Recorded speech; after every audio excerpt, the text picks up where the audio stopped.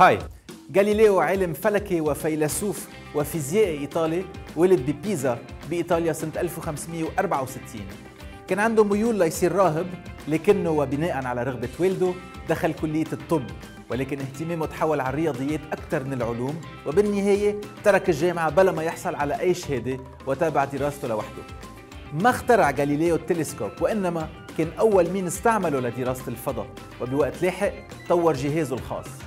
حكمت محكمة التفتيش بروما على جاليليو بالحبس المؤبد بسبب طرحه لكتاب بيناقش نظرية كوبرنيكوس حول الكون يلي كانت الكنيسة ضدها بس هالعقوبة تغيرت بوقت لاحق لحجزه داخل بيته يلي مضى فيه سنواته الأخيرة. مين قال إنه إصبع جاليليو النصاني معروض بمتحفه الخاص بفلورنس؟ أنا قال. بشوفكم بكرة.